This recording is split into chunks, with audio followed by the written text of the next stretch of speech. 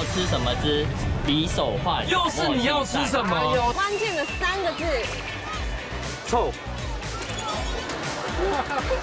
几个字？五个字。哇，这么写这么多字干什么？先分数啊，小份的，小份的。这是小份的，这会不会太大了？哇，这是一个很完美的长鱼烧。嗯，很快。今天我是十点。请问今晚住谁家哟？就在东森超市。三